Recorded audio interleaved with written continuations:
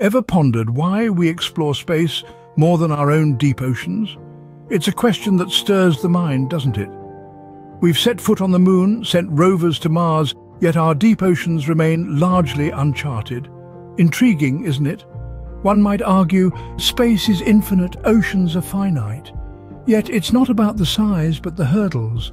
Our oceans are dark, cold and pressure-packed. It's a hostile environment, more so than space. Space exploration holds a certain allure, a sense of grandeur.